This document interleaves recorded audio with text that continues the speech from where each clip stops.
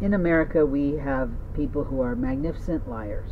In other words, they're marvelous at lying. They spin a good story, and you think that something is off.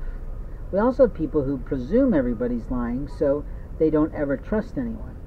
The reality is that a person who is intentionally trying to lie to manipulate and harm usually, unless they're really a great actor or actress, has a tell.